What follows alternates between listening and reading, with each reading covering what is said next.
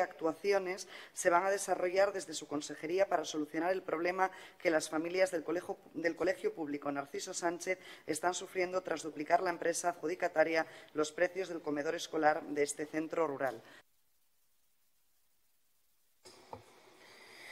Buenas tardes, eh, otra vez de nuevo. Me trae aquí un tema conocido por todos y todas. Con, con fecha 8 de abril del 2021 se suscribió contrato con la empresa Serunión, de conformidad a la normativa existente y estableciéndose un precio unitario al día, menú vigilancia 6,24 euros, IVA excluido, IVA incluido 6,86.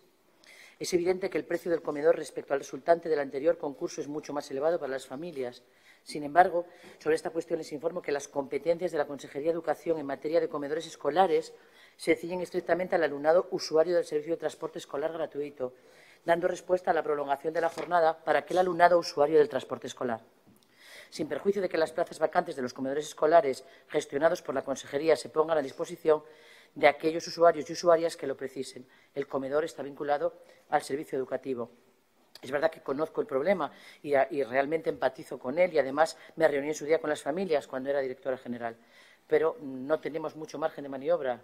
Por eso eh, ocurrió el, curso pasado esto y no tuvimos posibilidad de rectificación porque dentro de nuestra norma no estaba recogida esa posibilidad. Señora consejera, este tema es un tema eh, de mucho calado y tiene que ver con una cuestión de voluntad política e incluso, si me atrevo a decir, de teoría política su, su antecesora perdón, eh, ya había una pregunta de este grupo parlamentario, se había comprometido a empezar a estudiar en los comedores de los centros públicos asturianos la posibilidad de revertir aquellos centros en los que fuera posible, y le garantizo que hay unos cuantos en los que es posible, los comedores in situ de los centros educativos y fueran gestionados en este caso por la Consejería. Ese modelo público, ese modelo de control por parte de lo público, en este caso de la Consejería del Principado de Asturias, la Consejería de Educación, ese modelo eh, que defendemos algunas organizaciones políticas creemos que es el modelo que se tiene que retornar, porque si no pasa lo que está pasando en el Colegio eh, Público de, Olloniego. La cifra, señora consejera, lo digo para que, me imagino que habrá, echado usted los cálculos, pero para que también lo tenga, lo tenga presente, para una familia que tenga dos, dos hijos, dos hijas, pagar 6,86 euros de menú al día le garantizo que hay algunos eh, locales de hostelería privados donde el menú es más barato, supone al mes 275 euros.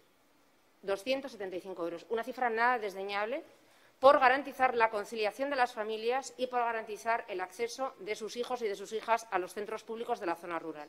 Pero es que además hay varios precedentes, señora consejera. Usted conoce bien lo que pasó en el centro público de Cabaña Quinta.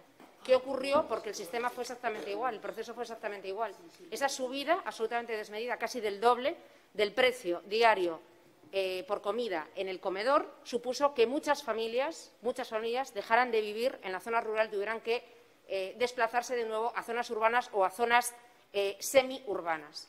Yo creo que eso choca frontalmente con eh, las teorías que maneja este Gobierno, con lo que dijo el señor Barbón al inicio de su legislatura, con el hecho de que tengamos un grupo de trabajo para abordar el problema del despoblamiento rural y vemos en lo cotidiano que pasan estas cuestiones. Yo discrepo con usted, lógicamente tendrá usted más razón que yo, pero yo discrepo con usted que la Consejería no tiene competencias. La Consejería tiene competencias y puede hacer los pliegos de condiciones en función de lo que la Consejería considere em, eh, oportuno, porque existe una legislación, una ley del contrato del sector público, donde así viene establecido eh, y porque además a través de las cláusulas sociales ustedes pueden trabajar esta cuestión. Pero es que además em, también pueden ustedes, si quieren, en un momento determinado, no me da tiempo a explicarle, porque yo sé que usted me va a contestar que no es factible, que no es posible, pero yo voy a decir que sí, porque se han hecho en, eh, otros territorios, en otras comunidades autónomas, se pueden habilitar becas eh, concretas y específicas para esta cuestión en base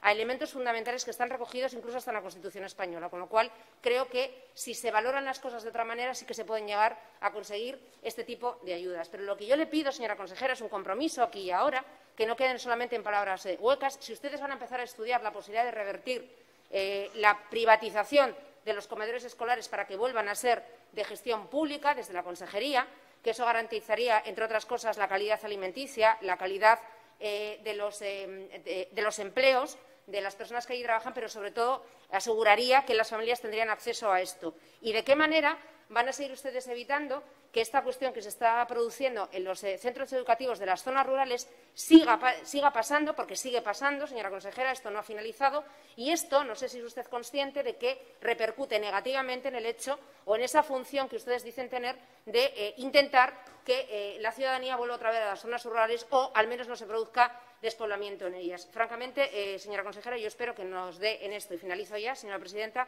que nos dé una, una solución a esta cuestión y que se comprometa con lo que ya le acabo de decir. Nada más. Gracias.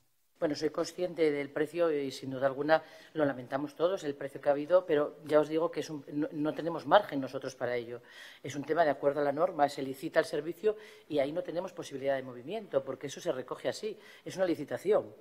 En otros casos sabemos que para atender a los aspectos relacionados con la conciliación, como es este que ustedes están, tratando, el servicio de comedor también se presta por los municipios, por las AMPAs, y son numerosos los concejos del Principado que convocan ayudas para comedor escolar con diferentes porcentajes y umbrales, de las que se beneficia el alumnado usuario que cumple los requisitos que se señalan en las convocatorias, las cuales suelen convocarse y resolverse antes del principio de curso. Por nuestra parte, hemos cumplido con nuestra obligación, la de licitar el servicio, llevando a cabo las actuaciones pertinentes sobre las que tenemos competencias y deberán ser otras administraciones o instituciones las que puedan implementar medidas para compensar el aumento del precio del servicio del comedor para el alumnado de este centro. Señoría, tanto el servicio de comedor como el transporte escolar son dos de los pilares fundamentales que garantizan el derecho a la enseñanza en condiciones de equidad para todo el alumnado y nosotros trabajamos a diario para lograrlo. Sabemos que las familias a las que comprendemos perfectamente se han dirigido al defensor del pueblo por este caso y el pasado 7 de agosto respondimos a la queja y respondimos a esa queja en los mismos términos que yo ahora mismo se lo estoy exponiendo a usted aquí, aunque lógicamente con un lenguaje, pues en otros términos, mucho más jurídico. No tenemos margen legal para modificar los precios salidos del concurso que se ha resuelto con todas las garantías legales y normativas. No existe ese margen. Y con respecto al cambio de empresa en mitad del curso, algo que también a las familias sabemos y soy conocedora que se han quejado, porque evidentemente ha sido un perjuicio, puedo explicar que esto se produjo así porque fue el momento en el que finalizó el proceso de contratación del servicio. Aunque las propuestas de licitación se inician con tiempo para estar adjudicadas antes del inicio del servicio, el devenir del procedimiento provoca en ocasiones que no sea posible y eso es algo a mejorar que queremos que no vuelva a ocurrir. En este caso en concreto, cuando finalizaron los trámites, el curso pues ya había comenzado. En aplicación a la ley de contratos del sector público, la empresa anterior que venía prestando el servicio pudo seguir haciéndolo hasta que se resolvió el concurso y lo hizo en las mismas condiciones que tenía y que eran más económicas. Y todo esto se lo hemos dicho también al defensor del pueblo. Le repito que entiendo la situación de los padres y las madres y soy consciente de la importancia del servicio de comedor, pero insisto en que no tenemos ese margen legal para hacer otra cosa. Muchas gracias.